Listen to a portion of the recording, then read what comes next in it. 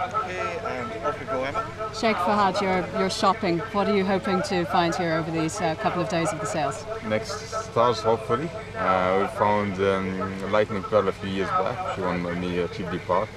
And we're all looking for that champion.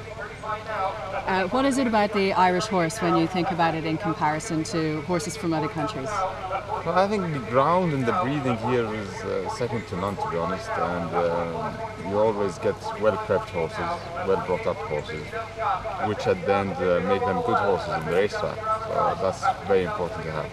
This is an Orby sale of yearlings. How much of a financial risk is it to splash out on horses that are yet to prove themselves? Well, it's a very risky game, without a doubt. But we've looked at it in the last five years and we've done well. If, we, if you average it out right, and you get hopefully a few champions out of them, or a few stallions out of them, or a few very nice mares out of them, it can be a successful business as well. You've invested in Ireland, not just in horses, but also in some land to, to keep your horses on. How is that going, and are you uh, thinking of expanding anytime soon?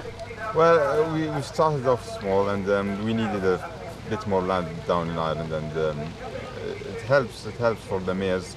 Um, in terms of expansion, who knows? You know, we're still we're still young, and maybe